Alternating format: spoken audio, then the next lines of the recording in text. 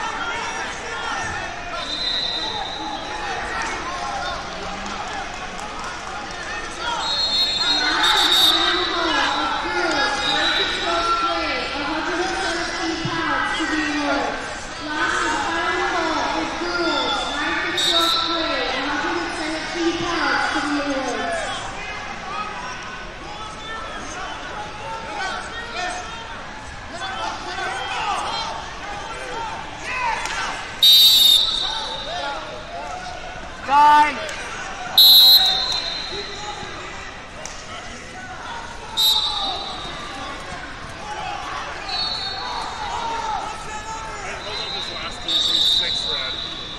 should be two more for red. You get the level over here? You take the one. I could even do